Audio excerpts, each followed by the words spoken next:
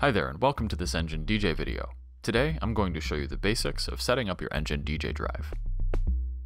To do this, you'll need your Engine DJ library, as well as a removable storage device like a USB drive or external hard drive. If you're just starting to build your Engine library, we recommend using a drive that's been freshly formatted to either FAT32 or exFAT. For more info on how to properly format your drive for DJ performance, check out the link in the description for a written walkthrough. Keep in mind that reformatting a drive will completely erase any data that's stored on it, so be sure to back it up first if you've already been using that drive.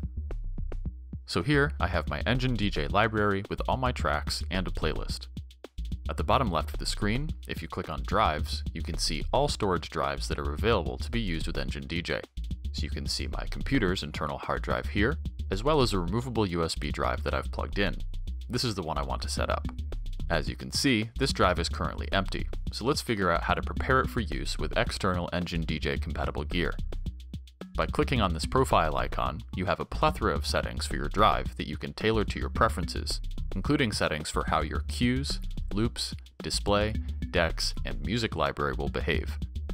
Feel free to adjust these settings however you wish, you can always come back to this screen and change any settings later on. Engine DJ also gives you the option to create multiple profiles for one drive, either by duplicating your current profile or creating a new one from scratch. This is a really useful way to change multiple settings at once simply by switching profiles. So let's get into adding tracks to your drive. There are two ways you can do this. You can either add tracks individually or in small groups, or sync entire playlists of tracks at a time. Let's say I just want to add a single track to my drive. Keep the Drives menu open, and on the drive you want to export the track to, click its drop-down menu so its collection is showing. So now, all I have to do is find the track I want to add in my library, and click and drag it to my removable drives collection. And I can see it's been exported to the drive in its own playlist. Tracks that are exported to your drive using this method will need to be stored in a playlist, so the system will create one for you automatically if you don't place the track into an existing playlist. But let's say I want to add more than one track. What if I want to export an entire playlist to my drive? This is where the Sync Manager comes in handy. In the lower left corner, click Sync Manager. Here, Sync Manager will show you all your playlists, both in your Engine DJ library and any playlists that have been previously exported to your removable drive. In my library, I have this playlist called 160 to 180 BPM. This is the one I want to export. All I have to do is click the checkbox next to that playlist, and at the bottom of the window, click Export to Drive.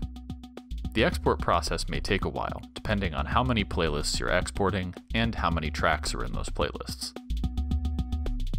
Once the export process is complete, you can click on your removable drives collection and see that the playlist is now ready to use. Keep in mind that the Sync Manager acts as a two-way street. We've already established that checking a box in the export column will add that playlist to your drive after syncing. But conversely, if you uncheck a box, that playlist will be removed from your drive after syncing. And of course, once you're done exporting, don't forget to safely eject your removable drive before removing it from your computer to ensure that your drive's new content isn't damaged.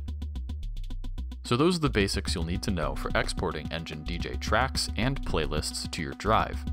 For more information on using Engine DJ, head over to enginedj.com forward slash support, where you'll find tutorials, FAQs, and more, as well as an option to open a support ticket if needed. Thanks for watching, and I'll see you soon.